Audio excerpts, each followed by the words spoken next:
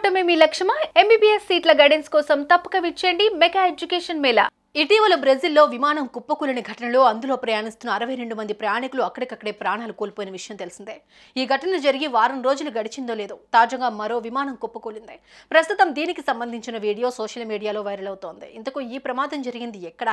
ఎవరైనా ప్రాణాలు కోల్పోయారా? అసలు ఏం జరిగింది?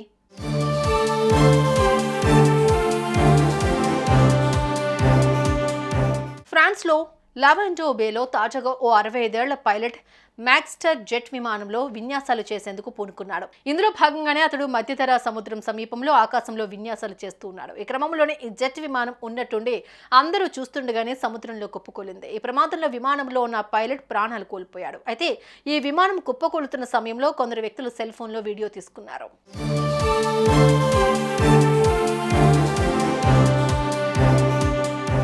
అయితే ప్రమాదానికి గురైన ఈ మ్యాగిస్టర్ జెట్ ఫ్లైట్ని రెండవ ప్రపంచ యుద్ధం సమయంలో తయారు చేశారట. ఇదే విమానాన్ని ఫ్రాన్స్ అప్పటి నుంచి ఆర్మీ శిక్షణ కోసం వాడుతోంది. ఇకపోతే ఈ విమానానికి ఎజెక్షన్ సీట్ లేకపోవడం కారణంగానే పైలట్ మృతి చెందాడని అధికారులు చెబుతున్నారు. ఇదే వీడియోను సామాజిక మాధ్యమాలు పోస్ట్ చేయడంతో ఇప్పుడు వైరల్గా మారుతోంది.